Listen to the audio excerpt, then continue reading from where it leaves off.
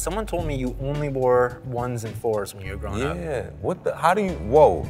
You on some Nardwuar shit? How you know this? We did some research. Yeah, this is true. Whoa. Well, so people know that. Damn. I appreciate you for knowing. Thanks, man. Nah, for sure. I gotta, I gotta say, I got a, a coworker named Jeremy. He's from Harlem. He helped me out with this. Yo, shout out to Jeremy from Harlem, man. All day. he knows.